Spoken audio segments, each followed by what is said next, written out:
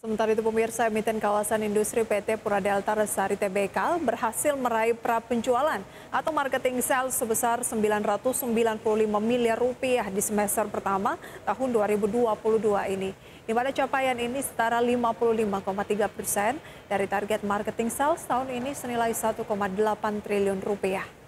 Direktur PT Pura Delta Lestari Tbk, Tondi Suwanto, mengungkapkan bahwa capaian pra penjualan sepanjang Januari hingga Juni tahun ini terutama berasal dari penjualan lahan industri termasuk penjualan produk komersial dan hunian.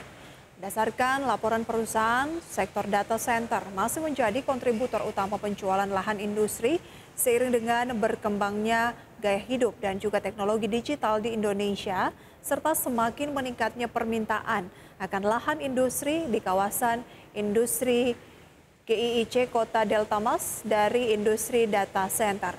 Untuk itu, manajemen emiten berkode saham Demas ini terus berupaya untuk melakukan inovasi guna mengembangkan kawasan industri tersebut menjadi kawasan industri hijau modern yang ramah lingkungan dan berteknologi tinggi.